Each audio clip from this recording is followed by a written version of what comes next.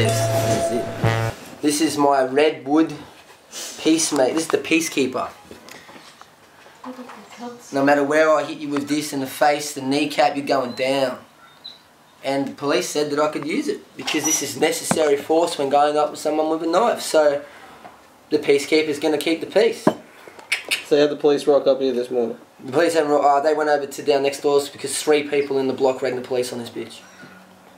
Basically, and it's probably the seventh time that they've been called out for this incident, this issue with these people, and now.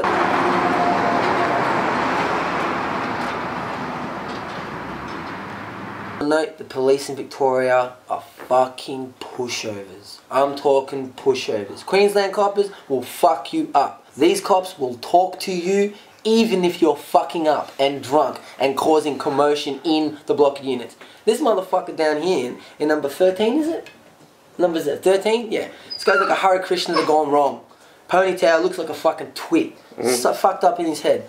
You know, like, he caused all this shit. He's the reason why this is all happening.